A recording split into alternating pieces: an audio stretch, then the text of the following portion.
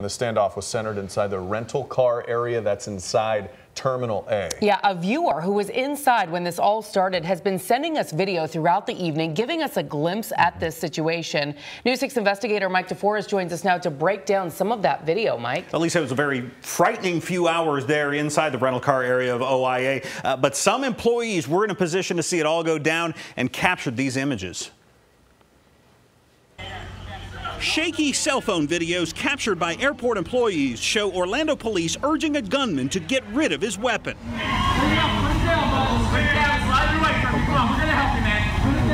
From behind sliding glass doors, witnesses could see an officer aiming his rifle towards the gunman. Now, it's hard to tell from the video, but that appears to be the suspect there just a few feet away from him. Now, normally police try to keep bystanders as far away from danger as possible, but at least some airport workers were still in the immediate area as crisis negotiators attempted to defuse the situation.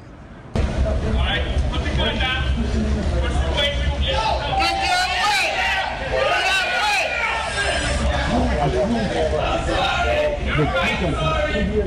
Went out of the elevator that time.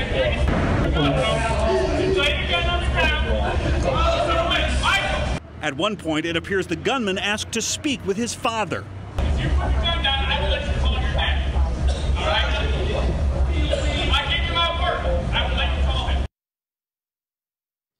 And we can only imagine that that uh, gunman, and we're calling him a gunman even though it has turned out to be uh, a simulated weapon, but nonetheless, uh, the person who was uh, the center of all this for several hours, uh, we can only imagine that uh, his family will be in touch with him as he's being hospitalized right now and evaluated. Um, we do have not yet seen any video from those final few moments of the standoff, but there are a lot of surveillance cameras there in the airport. And you know, this is probably going to be a, a, good training tool for these police officers to share with their colleagues to show how this successful situation went down. Matt and Lisa. Absolutely. Mike DeForest, I'm sure a lot of relief inside that airport, a lot of relief at home for the families watching